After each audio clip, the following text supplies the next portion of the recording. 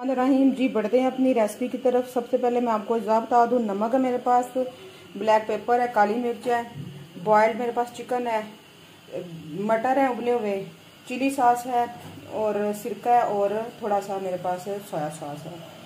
प्याज कटे हुए हैं, टमाटर हैं, और थोड़ी सी शिमला मिर्च है कैबिज है। तो दूसरी साइड पे मैंने पे मैंने पैन रख दिया हुआ है।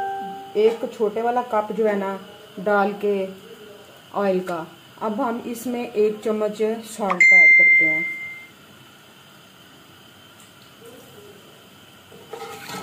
और प्याज ऐड कर देते हैं।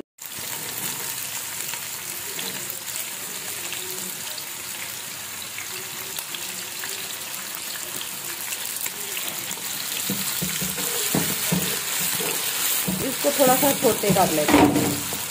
हमारा लाइट सोते सोते हो गया ट्रांसपेरेंट हो गया है अब हम इसके अंदर टमाटर ऐड करते हैं और शिमला मिर्च ऐड करते हैं। और साथ ही हम बंद गोभी जो कटी हुई थी ना, वो वाली ऐड कर देते हैं।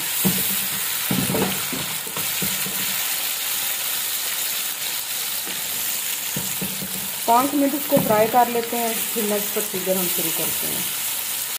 सब्ज़ियाँ हमारी ट्रांसपेरेंट हो चुकी हैं, सोते हो चुकी हैं, अब हम इसके अंदर पीस डालते हैं। और साथ ही चिकन ऐड कर देते हैं। और साथ थोड़ा सा हम टमाटो केचप ऐड करते हैं।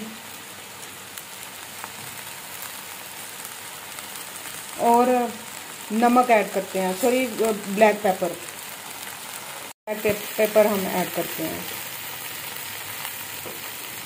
इसको हिला लेते हैं। अब हम सोया सॉस ऐड करते हैं। पाँच चम्मच सोया सॉस के ऐड करते हैं। तकरीबन ये चार से पाँच चम्मच हो गए हैं। और साथ ही हम चिली सॉस ऐड करते हैं, टू चम्मच। चले जी, हो गया। और थोड़ा सा हम इसके अंदर सिरका ऐड करते हैं। तकरीबन ये दो चम्मच हो गया। अब इस सारे अज्जा को हम हिला लेते हैं। सारी वेजिटेबल सारी जो है ना परफेक्ट है। अब हम इसके अंदर पास्ता ऐड करते हैं, जो मैंने पहले पानी में बॉईल करके रख लिया हुआ था। इसको साथ साथ हला लेते हैं।